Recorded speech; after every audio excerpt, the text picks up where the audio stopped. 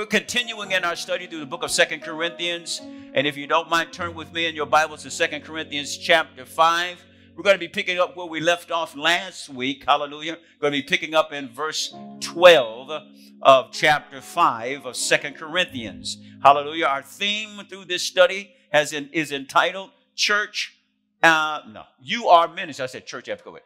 Uh, your life is ministry. Amen. That's our theme through the book of uh, Second Corinthians. Amen. And so while you're looking for that, and as you're looking for it, let me give you my our quote for the week, okay? While you're looking for your verse and getting ready to read it, let me give you our quote for the week. I promise you a quote each week, and the quote for this week comes from Dr. Tony Evans. Dr. Tony Evans gives us this quote. This is what he says God can take the good, the bad, and the ugly and create a masterpiece called your destiny. Amen. God can take the good, the bad, and the ugly and create a masterpiece called your destiny. Amen. He can take my mess and turn it into a miracle. he can take my messed up stuff and make a message out of it. He can take the good, the bad, and the ugly and turn it into a masterpiece and give me a destiny that I hope for and long for that ends me up in heaven with Jesus. Amen. That's our quote for the week. God can take the good, the bad, and the ugly and create a masterpiece called your destiny. Flip uh, 2 Corinthians chapter 5, beginning our reading in verse 12 and reading to the end of the chapter, verse 21. Amen. Do you got it? Now, before we read, come on, take your Bible. Hold it up. Amen. Shake it at the devil. Say with a very loud voice, I have the victory. And the victory is where? Hallelujah. Y'all sound like people who walk in victory. Amen. Second Corinthians chapter 5, beginning of verse 12. New King James says this For we do not commend ourselves again to you, but give you opportunity to boast on our behalf, that you may have an answer for those who boast in appearance and not in heart. For if we are beside ourselves, it is for God. And if we are of a sound mind, it is for you. For the love of Christ compels us, because we judge thus that if, our, if one died for all, then all died. And he died for all, that those who live should no longer live for themselves, but for him who died for them and rose again. Therefore, from now on, we regard no one according to the flesh. Even though we have known Christ according to the flesh, yet now we know him thus no longer. Therefore, if anyone is in Christ, he is a new creation. Old things have passed away. Behold, all things have become new. Now, all things are of God, who has reconciled us to himself through Jesus Christ and has given us the ministry of reconciliation. That is, that God was in Christ reconciling the world to himself, not imputing their trespasses to them, and has and and and has committed to us the word of reconciliation. Now then, we are ambassadors for Christ. As though God was pleading through us, we implore you on Christ's behalf, be reconciled to God. For he made him who knew no sin to be sin for us, that we might become the righteousness of God in him. Father, we just thank you and praise you for your word today. And we ask you, the Holy Spirit of God, to speak to us as we desire to know, understand, and apply the truths and the principles of this word in our lives, that we might be who you have ordained us to be and do what you have called us to do. It's in Jesus' name we pray. And all of God's people said, Amen. Amen. I want to talk to you from this subject a collective ministry. A collective ministry, subtitle Be Reconciled to Christ. A collective ministry, be reconciled to Christ. It was in the 1950s that marketing expert or marketing whiz Stanley Arnold was working for Young and Rubicam, where he was asked to come up with a marketing campaign for Remington Rand, the razor at that time, the shaver at that time. The company was among the most conservative in America. Its chairman at that time was the retired General Douglas MacArthur. Intimidated at first by the company that was so much a part of America, Arnold also found in that phrase the first inspiration for a campaign. After thinking about it for a while, he went to the New York offices of Merrill Lynch, Pierce, Fenner, and Beane, and he placed an ultimate. He placed the ultimate odd lot order. He wanted to purchase. He told the broker one share of every single stock listed on the New York Stock Exchange. My, my, my. After a vice president tried to talk him out of it, the order was finally placed. At that time, it came to more than $42,000 for one share in each of the 1,098 companies that listed that was listed on the big board at that time. Arnold now took his diversified portfolio into the board meeting of Remington uh, Rand uh, directors, and, and where he pleaded passionately for a sweepstakes campaign with the top prize called a share in America. the conservative old gentlemen shifted around in their seats for a while and discussed this thing amongst themselves. Then one of them said, Mr. Arnold, we are not in the security business. And another one said, We are in the shaver business. But then Arnold responded, He said, I agree that you're not in the security business, but I think you also need to realize that you're not in the shaver business either you are in the people business. And they bought his idea. Listen, my brothers and sisters, we too are in the people business. Amen. We ain't in no church business. We ain't, in, we ain't in the business of just getting excited on Sunday and worship. God has called us. We are in a people business. Well, this gospel that God has given us is about reconciling people back to right relationship with God. This gospel that God has given us has three basic motives.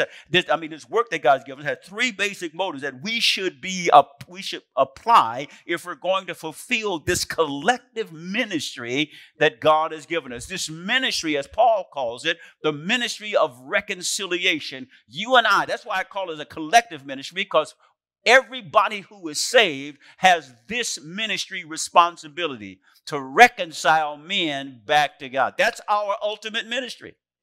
That's our collective ministry, is that you and I have saved all and, and been delivered to collectively share this reconciliation message with, with those in the places where God has planted us. And in the verses that I've read to you this morning, Paul highlights three motives that allows us to make this collective ministry effective in our lives. Three motives that you and I must understand, three motives you and I must have, three motives that you and I must carry out in our lives as we are believers of Christ in a fellowship of believers to fulfill this collective ministry of reconciling men back to God. And those three motives are these. First of all, we need to have the motive of a compelling commitment to one another. And we got to have a compelling commitment to one another. Listen, you understand, church is not the building, church is you. And God calls us to work together.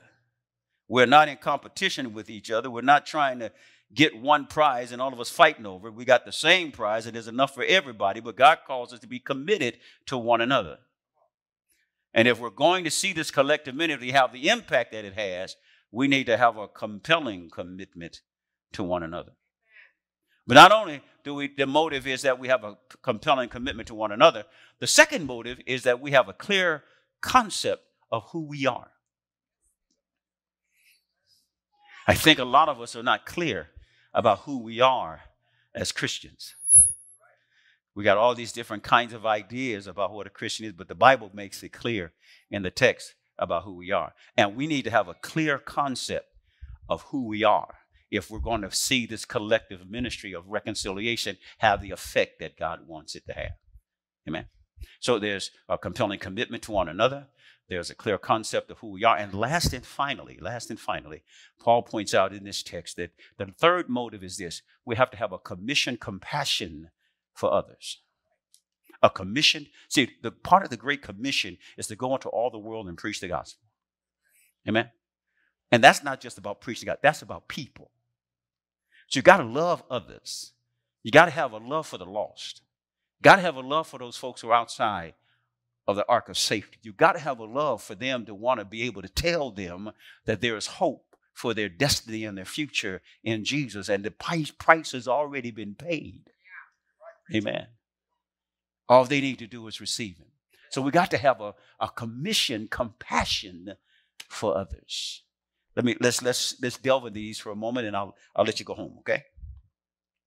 First of all, the first motive that this collective ministry must have is a compelling commitment to one another. In verses 12 through 15, Paul makes this statement. He says, For we do not commend ourselves again to you, but give you an opportunity to boast on behalf that, that they may have an answer for those, that you may have an answer for those who boast in appearance and not in heart. For if we are beside ourselves, it is for God. If we are of sound mind, it's for you.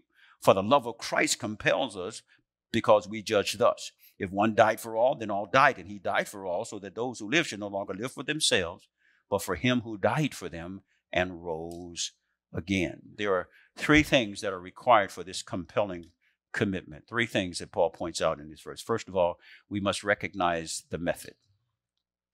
Recognize uh, the method. Now, it may seem a little abstract at the beginning, but this Paul wanted the Corinthians to understand his method of relationship with them. See, all of us come from, eh, from different backgrounds and from different environments and from different experiences. And, and the sad part about the church is we haven't learned to accept our diversity. We want everybody to act the same, be the same, look the same, talk the same.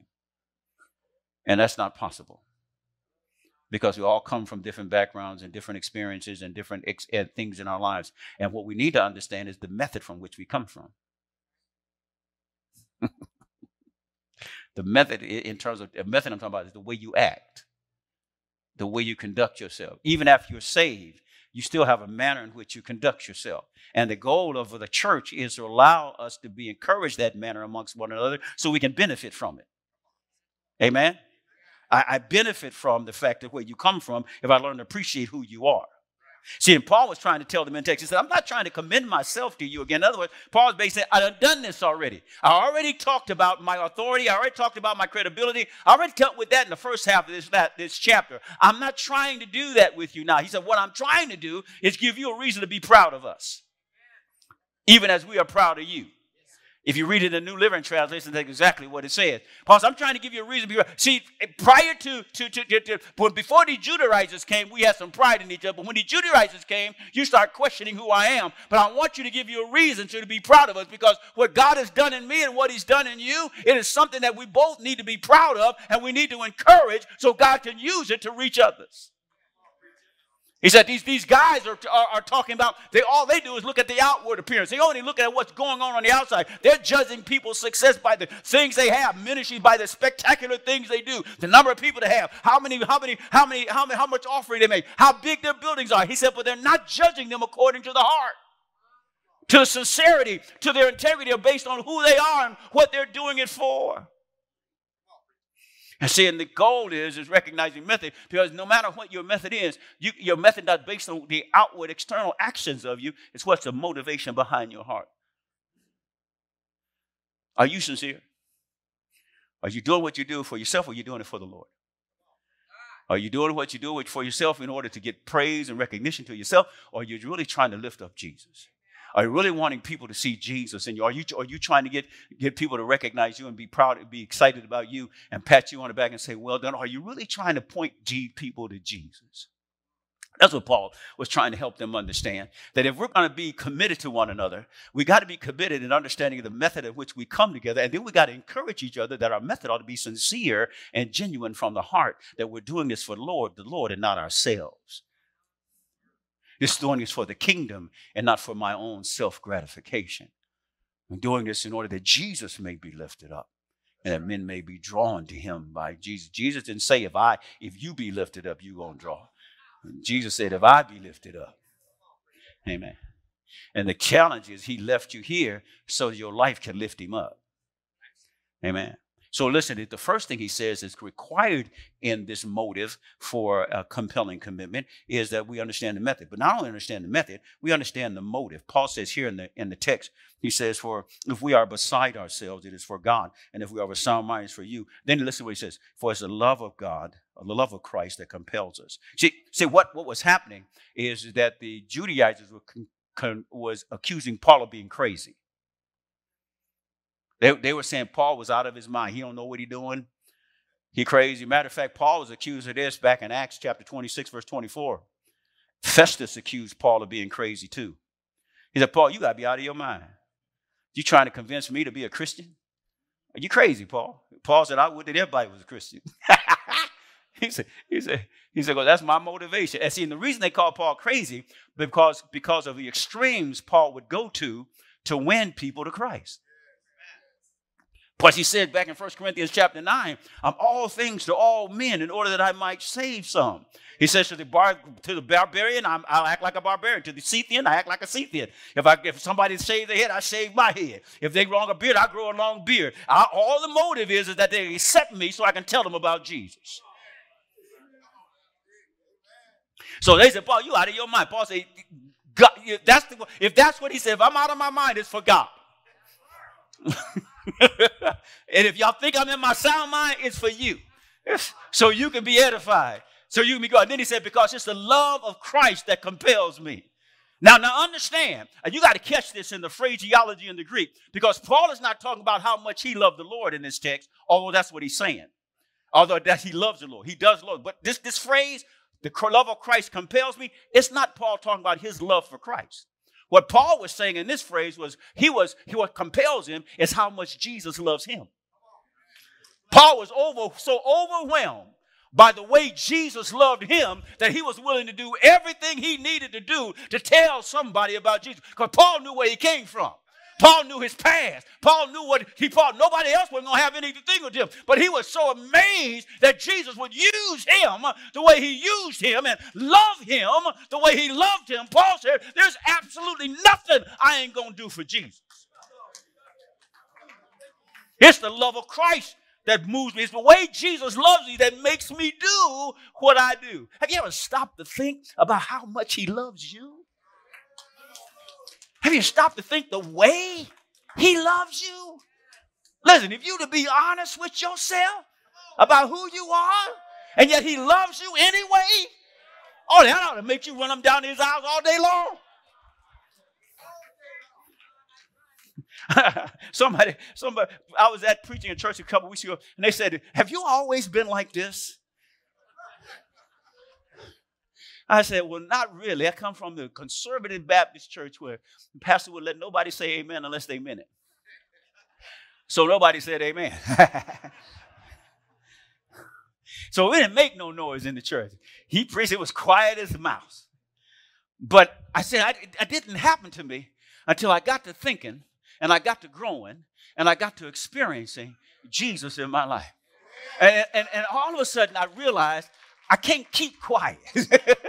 I, I, listen, li- listen.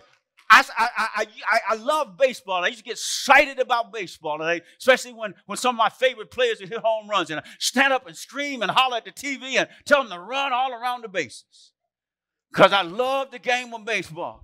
But then I realized if I love baseball that much, how much more do I love Jesus? Now, if I can holler for a ball player, ain't gonna take me to heaven, how much more should I holler for Jesus, who gonna take me from earth to heaven? How much more should I let him know how good he is and how much he means to me when he's done so much for me?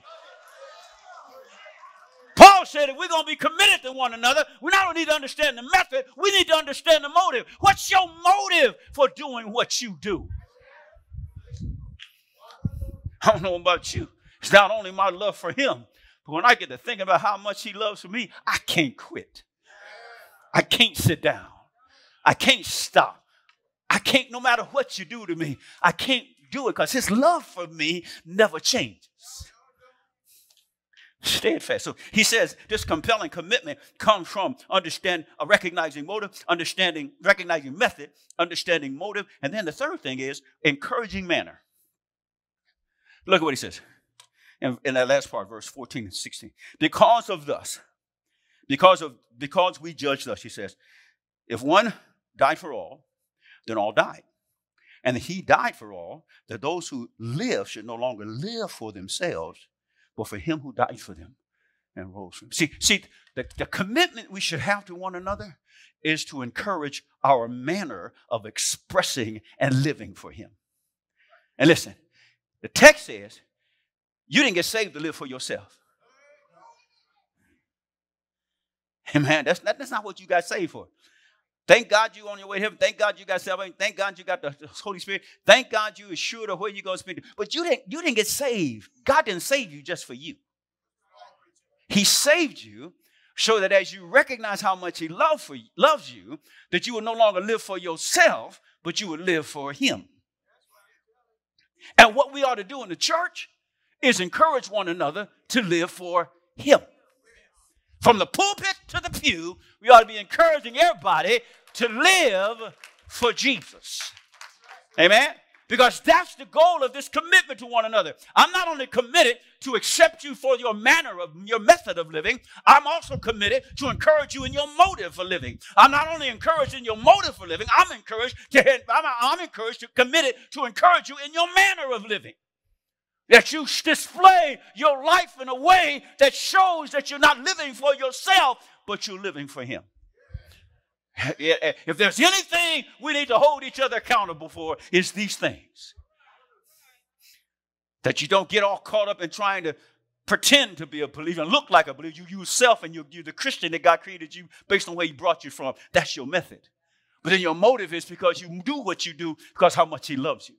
And you recognize from that motive that you're going to hold other people accountable to not just be living for themselves, but live for Him. But then it moves to the next, the next motive because if the, motive, if the first motive is a compelling commitment to one another, in order to be committed to one another, we got to be clear about who we are. got a clear concept. Listen what he says. Therefore, therefore, we we from now on, Paul says, Therefore, from now on, we regard no one according to the flesh. Even though we had known Christ according to the flesh, yet now we thus know him no longer. Therefore, if any man be in Christ, he is a new creation. Old things have passed away. Behold, all things have become new. See, one of the problems that Paul was, Paul was facing in the Corinthian church that the believers were still judging one another according to the flesh. They were still dealing with their situations, circumstances, and, and issues with one another from a worldly perspective. Don't sound much different than the church today. Because when, we, when we're pushed into the corner with the pressure of life, rather than resorting to what the word said, we, joy, we resort to what men think we ought to do. We still deal with from the perspective of men and from the circumstances and viewpoint of men. Paul says the church was having a problem with that. And because they were having a problem with that, it was creating problems for them. Because as long as they were judging from flesh and not judging from who they are, being saved in the spirit, they were struggling with the outcomes of their judgment. He goes on in the, uh, the uh, commentator writes. He says, and and they were they were comparing Paul with other teachers and using carnal judgment instead of spiritual discernment. They were forgetting their Christian life uh, is a new creation with new values and new motives. Then, and to judge Christ after the flesh was wrong. That is, to look upon him as the world did, as only a great man, a great teacher, or a great example.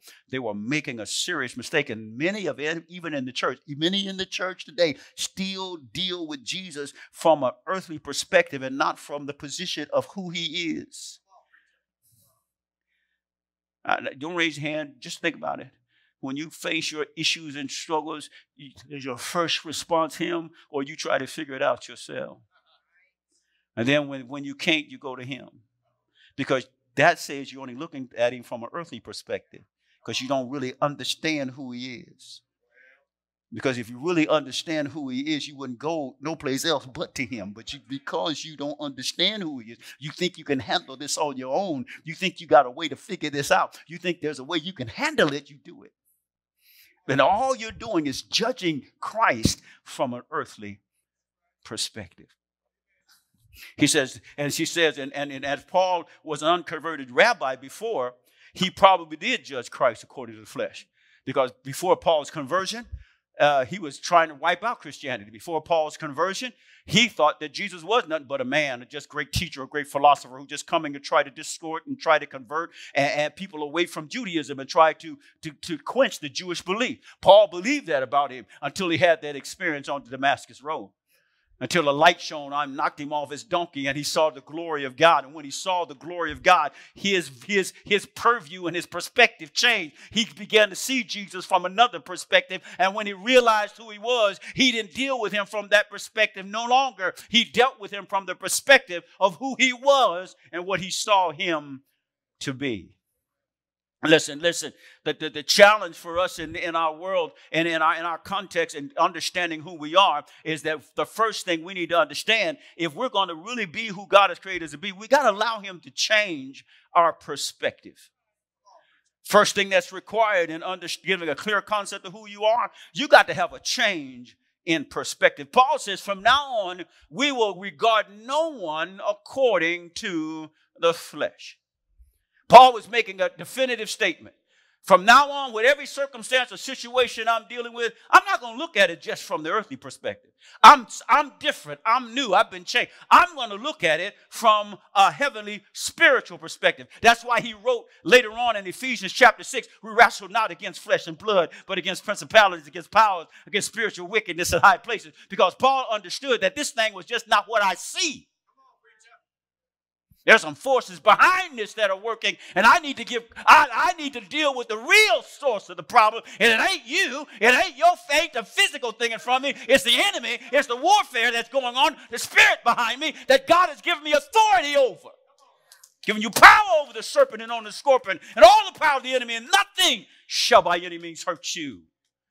Paul said, I'm no longer looking at this thing from a fleshly point of view. I recognize there's a spiritual warfare going on, and that's where I'm going to make my judgments from. That's where I'm going to make my decisions from. That's how I'm going to respond to the circumstances in my life, not based on what you do, but based on what I understand what's going on behind you and what the influence is in your life, and I'm going to judge based on that. Listen, and listen, think about this, Saints. If you can judge it from the spiritual perspective, nobody could ever offend you again. Because you'd understand that the offense that's coming from it ain't from them. It's from the enemy behind them. And he only sent them to offend you to get you off your game. and so I ain't gonna fall for that okey doke. Hey, hey, hey. I see you, Satan.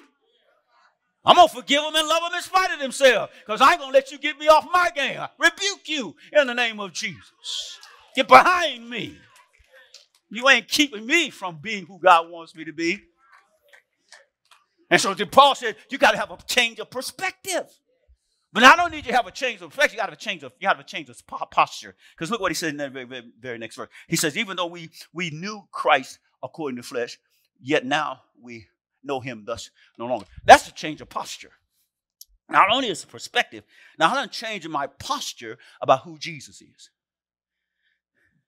See, the world want me to look at him as a great teacher, a philosopher, and a great man because he lived and died. But see, he's more than that. He was the Word made flesh and dwelt among us. He was God incarnate. God wrapped himself in flesh and came and lived among us in order that he might redeem us back into right relationship with him. I'm going to talk about that in just a moment in terms of reconciliation. In other, in other words, what we're dealing with is a sovereign God who simply decided to get in our flesh in order to get us out of the problem that we're in called sin. But he's the same God, omniscient, omnipotent, omnipresent. Same God who was yesterday, today, and forever. Same God who was able to do exceedingly abundantly above all that you could ever ask or think. Same God who called light into existence and separate the light from the darkness. The same God who created everything you see, the air that you breathe, and the sunlight that woke you up, and the, and, and the air and the, the things that are around you. It's the same God. And his name is Jesus, and he ain't no different than the Father in heaven. And he can do absolutely anything but fail. and unless you change your perspective of him, you won't respond to him. Going to change your posture of him. You won't respond to him. Listen, listen, when you get to the place when you recognize that he's sovereign, you ain't got that. You ain't got no plans. He's the only plan. I don't use the phrase, let me figure it out. I use the phrase, Jesus.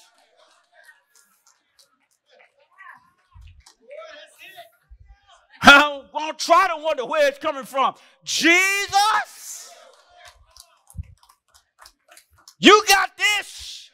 I'm going to keep doing what you tell me to do. You handle it. Got to change your posture. And the only way you change your posture is you change your position. Therefore, if any man be in Christ, he is a new creation. One track, King James says creature, but the word in the Greek is creation. He listen, God is the only one that can take something old and make it new. And what he's telling you, that he didn't renovate your old life, He recreated your whole life. You ain't what you were before. You a new creation. Yeah, yeah, you may look like it sometime and even act like it sometime, but the reason why you ain't comfortable with it, because it ain't you no more. You've been made new. You've been changed. Listen, you get a brand new car, buy it, drive it off the court, off the parking lot, and keep driving around the block for you can ride for a whole hour. Go back to the dealer and want to get your money back. Now the dealer ain't looking at it as a new car.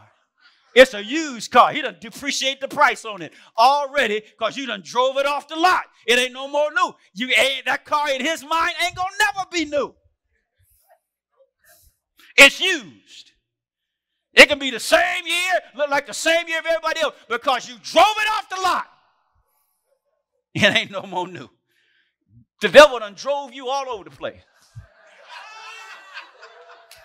He done, he done crashed you into so many buildings and signposts and direct your life and ruined you, turned you upside down and, and put so much mileage on you, the wheels about to fall off. But when you come to Jesus and you give your life to Jesus, God can take that old rundown, messed up life and make it absolutely brand new all over again. And listen and listen. And when he looks at you, he don't look at you as you were. He look at you as you are, new. If I need to listen, I need to understand who I am. And I got to stop making excuses that the devil gives me to lie about who I am. Keep buying into that old lie. Well, that's just the way I. That ain't it. If you're a believer, that is not just the way you are. Stop lying and stop buying that lie. Because if you say it's not what you are, you're a brand new creature. Believe that. And you start believing, you'll start acting like it. Only reason many church, church folk don't act like they should, because they don't believe it. Hallelujah. And God says we need to have a clear concept of who we are if we're going to make this collective ministry efficient and effective. We need to understand we are not what we used to be. Thank God I'm not. Oh, thank God. Thank God I'm not. Whew. God is good in that. And listen, and you know your adversary wants you to stay where you were to keep you from becoming who you are. Did you hear me? To keep you from becoming who you are. Because now that you're in Jesus, you are something different than what you were. And you got to start believing that. The moment you do, you'll see the change and you'll act the change because you know you changed. Last and final thing he says is the motive in this com- collective ministry. is not only is there must be a compelling commitment to one another, and not, on, not, not only must there we must have a clear concept of who we are, but the last and final thing is that we need to understand that we're not to live for ourselves. So we need to have a commission compassion for others. We need to allow Him to give us His heart for the lost. And understand that this ministry, this collective ministry called the Ministry of Reconciliation, is not something we keep to ourselves, but it's something we've been commissioned by God to share. Listen what he says in the last verses of this passage. He says, Now all things are of God. All things are of God. All things. That's the paradigm shift for us as believers. Do you understand? Devil ain't got control over nothing. But he makes you believe he has because all things are of God. The only reason he's raising heaven because he understands he gonna have to submit to God one day. All things are of God. Then he goes on, he says, who has reconciled us to himself through Jesus Christ and has given us the ministry of reconciliation. The same work he did to bring us to himself is the same work he's given us to bring others to himself. Has given us the ministry. That is, that God was in Christ reconciling the world to himself, not imputing their trespasses to them, but has committed to us the word of reconciliation. The text says this is what was happening with Jesus. God was in Christ reconciling the world to himself, not holding their sins against them. We've got to ministry reconciliation.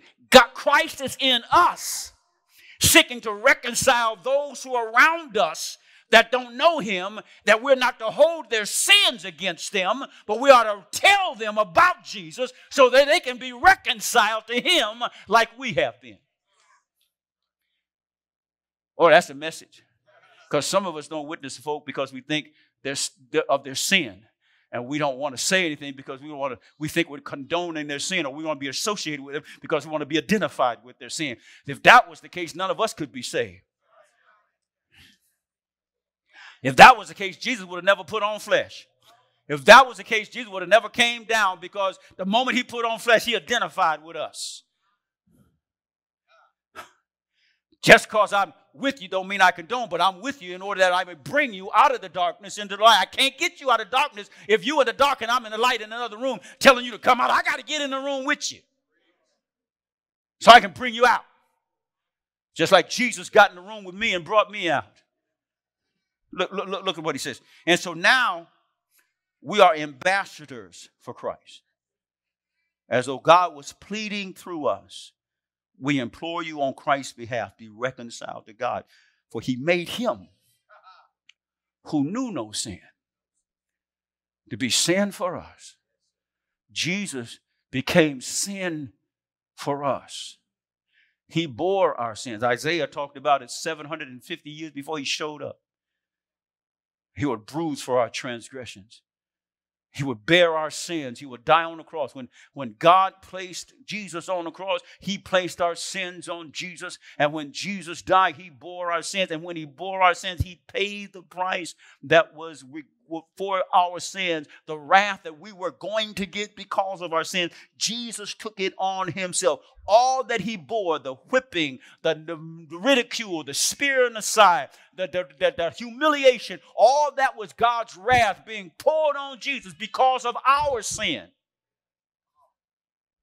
He became sin for us so that we might become the righteousness of God in him. Do you understand? That now that you're in him, you are righteous.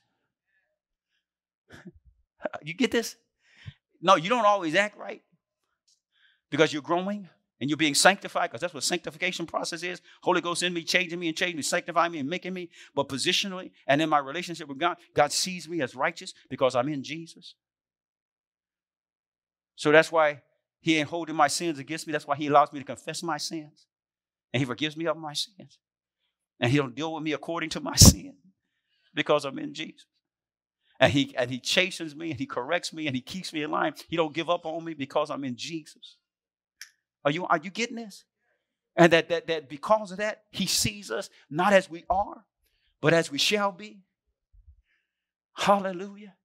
So that one day when he shows up, like John writes in John chapter, first John chapter 3, I don't know what it's what it's what we shall be, but I know that when he shall appear, we shall be like him. For we shall see him as he is. I, ain't got no idea what I'm going to look like, what I'm going to be like, or how I'm going to act like when Jesus shows up. But I know that when Jesus show up one day, because of what the Holy Ghost is doing me and the, on me in the meantime, meantime, that when Jesus shows up on that day, when this veil of the blood is taken away, when God sees me for what I really am, the Holy Ghost work will be complete, and I will be just like Jesus. My God from glory. And so, so, so the compassion commitment that we have, the commission capacity we ought to have for others, is that we ought to want others to experience the same deliverance in their lives as we have experienced in ours. The word reconcile means this it means changing for the better a relationship between two or more persons. Changing for the better a relationship between two or more persons. That's what the word reconciliation means. The changing for the better of a relationship between two or more people. Theologically, it, it refers to the change of relationship between God and man. In other words, it literally means that what Jesus did on the cross made peace between God and man. Listen, we, before our salvation, are, were naturally children of wrath. That's what the Bible says in Ephesians chapter 2, verse 3. Paul points that out in terms of before you got saved, we were children in the wrath. When Paul refers to, in other words, we were children who were destined to experience the wrath of God because of sin. Because of the fact that we were born in sin and shaped in iniquity, because of the fact that we were governed and ruled and, and controlled by sin, because we long for sin and we love sin and we practice sin. God, Paul says we were naturally born in the world as children of wrath. We were destined to experience the wrath of God. He goes on and talks about the fact, but in, and, and in that, we were in opposition to God. Our flesh longed to do the things that were diametrically opposed to God's character. You know, Paul had that wrestling match in Romans chapter 7. The things I want to do, I don't do, and the things I don't want to do, I end up doing anyway because of the flesh. He said, but we're at enmity. But, he says in Romans chapter 5, God reconciled us to himself through Jesus Christ. God made peace between him and us by the death, burial, and resurrection of Jesus on the cross. And now that Jesus has died and rose and now sits at the right hand of the majesty on high, as Hebrews says, ever making intercession for us and preparing to come back, those of us who are being saved in the meantime, those of us who are being delivered in the meantime, those of us who are experiencing the power of God in our lives in the meantime, have been given a ministry of reconciliation, a ministry that we tell men that the peace that God, that the relationship with God that they have has been made peaceful by what Jesus Jesus did on the cross. Now, God is not at war or against sinners. Sinners can be saved by God because of what Jesus did on the cross. You are not destined for wrath if you want to accept Jesus as your Savior. You're destined for heaven if you believe in the work that He did for you on Calvary. Jesus died in order that none of us would experience eternity without Him. Because the Bible reminds us in Peter that God's desire is that none should perish, but that all should come to repentance. But understand, don't get it twisted, don't get it twisted. God ain't gonna make you do it. The choice is yours. The choice is always yours. He says, Behold, I stand at the door and knock. If any man hears my voice and opens the door and hears and, uh, and, and, and, opens the door, I will come into him and sup with him. And he may. The text talks about a choice. When somebody knocks at the door of your heart, you have a decision to make. Somebody knocks at the door of your house, you got a decision to make. Whether you're going to go to the door open the door. You might peep through the peephole, And you might see somebody you don't want out there, and you make a decision, you ain't opening the door. But that's your choice. It's your choice. It's your house. You can do that. God says He stands at the door of your heart knocking. What does that mean? He stands at the door and knock with the gospel. Every time you hear the gospel message of Jesus Christ and you're still far away from God and you haven't made a decision about who Jesus is in your life, God is knocking at the door of your heart. Every time. Why? Because God wants, wants relationship with you. But He's not going to force His way in. Not at all. He's going to leave the choice up to you. Paul goes on and says, as a result of this and this ministry reconciliation, we need to understand something. Now that we've been saved and now we've been reconciled, our positional responsibility for God, before God now, is this that we are ambassadors that we are ambassadors. And as an ambassador, we carry this message to those who don't know him that they can be reconciled to him as well. God calls us ambassadors. We are representatives of him. Let, me share four things about an ambassador, and then I'll be done. Okay? Let me there's four things you need to know about an ambassador. First thing you need to know about an ambassador that ambassadors are chosen. Understand that ambassadors are countries choose the men and women that they want to represent them as ambassadors. That's what they choose them. The, the, the, ambassador doesn't decide, hey, I want to be an ambassador. No, the country looks out and determines what people they want to represent him. An ambassador is sent to a country to represent that particular country from which they are a part of. Listen, ambassadors are chosen. And listen, Christ has chosen us to be his representatives. He reminds us of that in John chapter 15, verse 16, when he tells you, You didn't choose me, I chose you that you may go forth and produce fruit. And listen, and ambassadors do not represent themselves. They represent the country that they're from. And we are not to represent ourselves. We are to represent Christ, as, as, as verse 16 just told us in the text we're reading. And listen, and Paul's aim as ambassador was to please Christ and to be faithful to the task that God had given him. That should be our motive as well. As now that we're representative of him, our goal is to please him and to fulfill the task, which is the ministry of reconciliation that he's given to us. So, the first thing you need to understand about an ambassador is an ambassador is chosen. Second thing you need to understand about an ambassador is that a, an ambassador is protected. Yeah, you with me? Why, why, look at this. Listen. An ambassador must be a citizen of the nation that he represents. And we as believers are citizens of the heavenly kingdom. Amen. What affords an ambassador protection from his country, he, he is a citizen of his country. That's what affords him the protection from his country. And so, in the same case, the Bible says in the Philippians chapter 3, verse 20, you and I are citizens of a heavenly kingdom. And as a result of being citizens of the heavenly kingdom, we are awarded protection from the kingdom that we represent.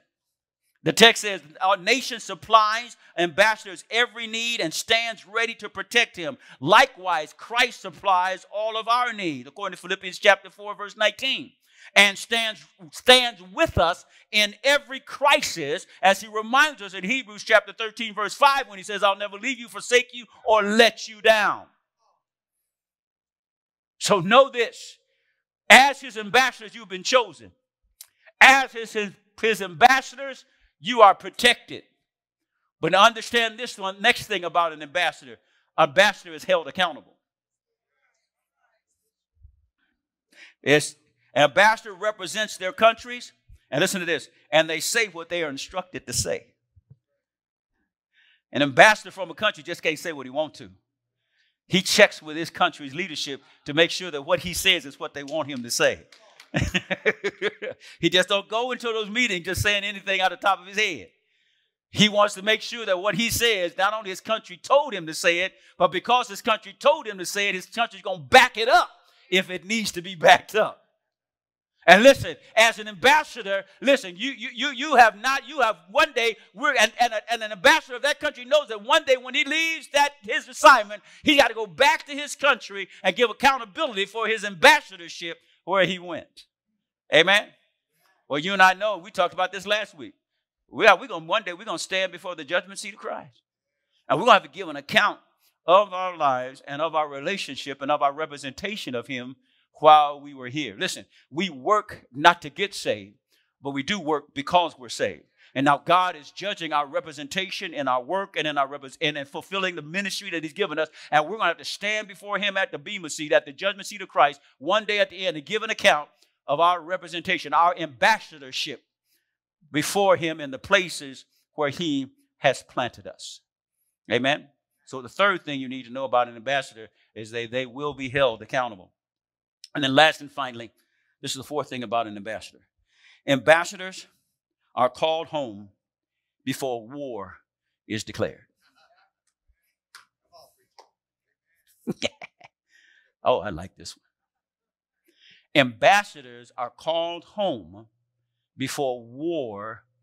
If, if, if their country is going to wage war on the country that the ambassador is in, before that war starts, they call the ambassador home so he doesn't be in the midst of the conflict.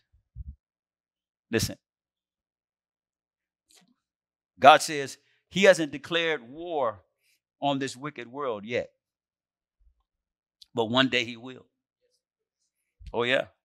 There's coming a day of wrath, the Bible says in 1 Thessalonians chapter 1, verse 10, where God's going to deal with the sins of mankind in the world. And know this that when that time comes, God's going to evacuate all of his ambassadors. First Thessalonians chapter 5, verse 1 through 6, that we're going to be caught up to meet him in the clouds. And there we shall ever be with the Lord.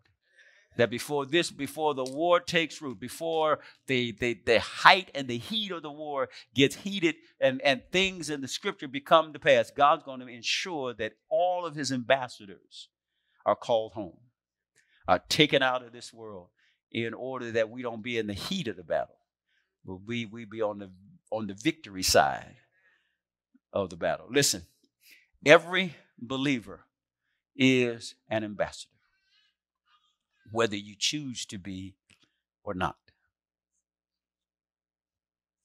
Every believer, you call yourself a believer, you say you love Jesus, you say you're saved, you are an ambassador and you are already being held accountable for your representation.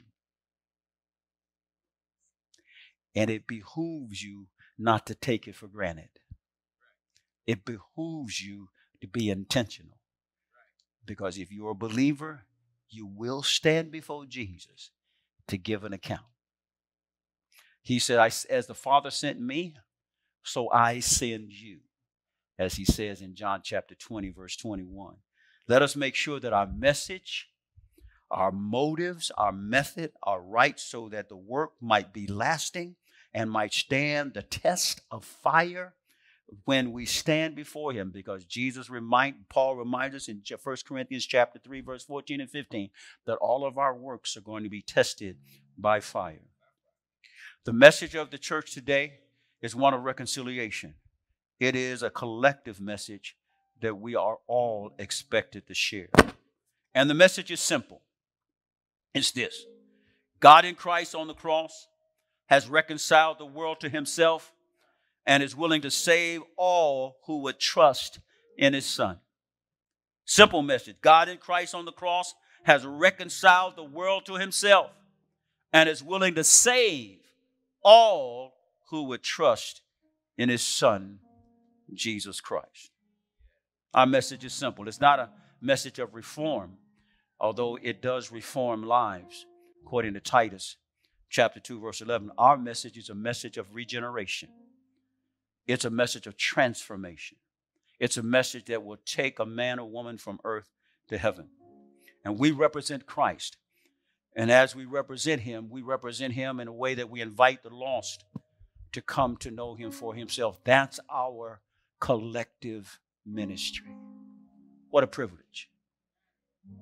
What a responsibility God has given us. I'm going to close, but I'm going to close with this quote from St. Clement of Alexandria. He said this He said, For the sake of each of us, he laid down his life, worth no less than the universe. He demands of us in return our lives for the sake of others. Plain and simple. You've been saved that he might use you to save others. This is our ministry of reconciliation. Commitment to one another, clarity about who we are, and commission compassion for the lost. If we do that, that's our motive. This ministry He's given us will have the impact that God intends for it to have. Every head bowed and every eyes closed. Father, thank you for your word, for the reminder of your word that you love us, that you care for us, that you guard, guide, and protect us, and that your intent is to use us, that others may come to know you as we do. God, our message is simple. You died so that those could be saved. We've experienced that in our own lives. And simply, you want us to just tell others about our own experience with you. So we thank you and praise you for your encouragement today and the challenge. We thank you and praise you for your word. And we pray not only that we are hearers of it, but we will be doers also. And now, as your heads are bowed and your eyes are closed, just for a brief moment, if you listen carefully to the message, the message was about reconciliation. And if you happen to be in this place right now, and you have a real you have a question about your relationship with Jesus. Maybe you said in the past you believe in him, but you haven't really surrendered your life to him. Maybe you said in the past that you think he's a great person, a great teacher, but you're really not sure about all the things that the Bible says about him as related to God. And maybe you've even thought in your mind that somehow there's a way you can make it into heaven without really acknowledging who Jesus is. But I want you to understand that the reason God reminded us of this reconciliation message and, and reminded us that it's connected to what Jesus did, uh, because, because God wanted us to understand that the only way to get to heaven is through Jesus. God didn't make any other pathways there. Jesus made it plain in John 14, 6, when he says, I'm the way, the truth, and the life, and no man comes unto the Father but by me. And then God requires that we just simply have faith in what Jesus did on Calvary. Would you have faith in the fact that He is God, have faith in the fact that He died for us, have faith in the fact that He rose from the grave, and have faith in the fact that if we believe in that, we are saved. And that faith will be will be uh, uh will be evident and made real as we walk it out day by day and moment by moment. God says in His Word, He reveals Himself to those who love Him. And listen, what means that if we don't express a love for Him, it's going to be hard to find Him. But when you love Him, when you have faith in Him, when you put your trust in Him, there's nothing about him that he won't let you know. There's nothing about him that he will not reveal. There's nothing about him that he will keep secret from you because he would in, he would do that to encourage your faith. He would do that to strengthen your faith. He would do that to build your faith. So today, as you've heard this word today, God is asking you, are you ready to put your faith in the reconciling work of Jesus Christ? Are you willing to put your faith in the fact that you believe and take God at His word. And that's what you're going to stand on. And that you're going to stand on it by giving Him your heart. You're going to stand on it by surrendering your life. You're going to stand on it by making a commitment to Him to live for Him, even as He died for you. And if you're ready to do that, I tell you, He's just simply a prayer away. He really is. He's just simply a prayer away. If you are ready to do that, all you need to do is pray. Pray in faith, pray believing, pray trusting, and pray to God. Pray to God and ask Him to come into your life. Listen, you can follow me in a prayer that I can lead you in, but the prayer itself is not the key. The, the key will be the sincerity of your heart. And I just ask you to be sincere and be real. I'll give you what to say, but you need to make these words your words and mean them from your heart. And if you do, God will respond to your faith and to your belief and grant what you're praying for. Simply say to Him, Lord Jesus, I need you. I thank you for dying on the cross for my sins. I open the door of my life and I receive you as my Savior and my Lord. Take control of my life. Forgive me of my sins and fill me with your Spirit. It's in Jesus' name I pray. Amen.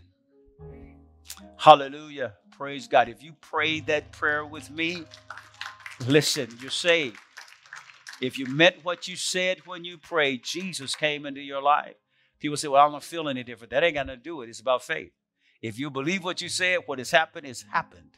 God, God has saved you. God has delivered you. God has set you free. The most important thing now is to, is to begin to grow in this relationship with the Lord. I think the screen's back up. Yes, it is. Uh, the QR code that you should have in the back of your pew and on a card. You can scan that and it will tell you what your next steps are. If you can scan the screen, you're close enough to do it, you can scan it up here. Uh, if you're old school, just go to the website, ecclesiachurch.com and go to the icon under the, under the banner that has the praying hands. And when you click on that, it'll give you three choices. And the third choice says, I prayed to receive Christ. Click on that, give us your information. I promise you that somebody from our office will contact you within the next 48 hours to talk to you, pray with you, and to tell you what your next steps are so that you can begin to grow. Our desire is to help you grow and experience all that God has for you now that you're a part of the family, now that you're saved, and now that you're assured that you're on your way to heaven. So please do that. Do that for us so we can walk with you. Do that for us so we can help you. Do that for us so we can make sure that you are on the right path to experiencing God's purpose and plan for your life and all that He has for you. Amen. So let's give the Lord a hand clap, everybody, for the word and for the worship and the fellowship today. Praise God for you and thank you for being here. Let's all stand. Hallelujah.